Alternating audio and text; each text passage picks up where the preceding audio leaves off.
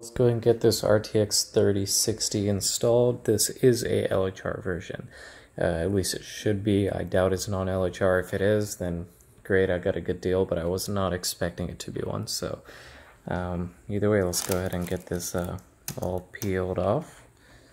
And we got a couple of these rubber grommet things.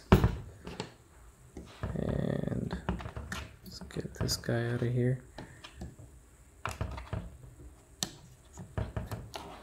Yeah. Now,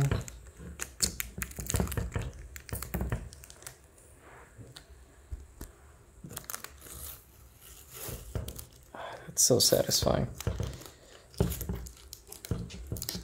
Alrighty. There we go. So now this guy's ready to go ahead and get popped in. So I did turn off my power supplies here. And as you can see, I already have this riser uh, right here.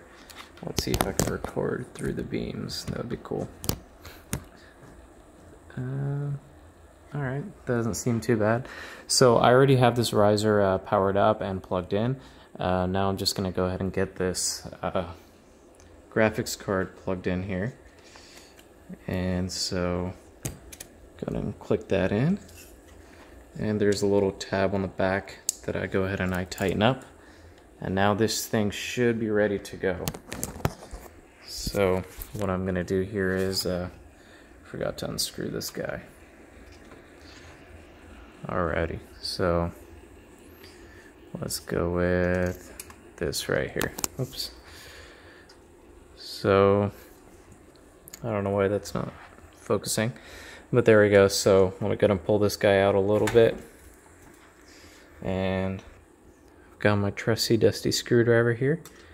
And we're gonna go ahead and screw that in. Probably not too tight but just enough. Now that we have that I'll get my second screw here. And we're gonna screw it down into here.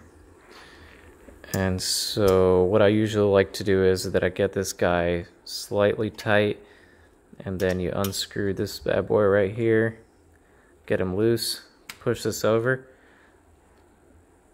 and then I tighten this guy up. And we go ahead and tighten that. Alrighty, so that's there, and now I've got a power plug right over here, and I can go ahead and get this plugged in up here. Man, it's so hard to do this with one hand. Um, there we go. And make sure it's all clicked in there pretty good. There we go.